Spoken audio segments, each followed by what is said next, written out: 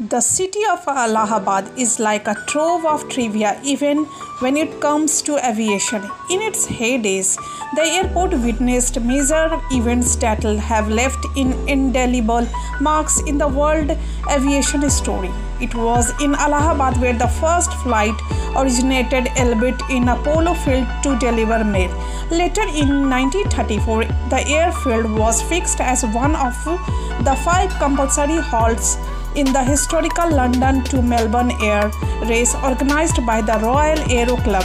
Today, the city is an important religious site and growing industrial hub with direct aerial linkages to Delhi, Lucknow, Patna, Nagpur, and Indore from Allahabad Airport.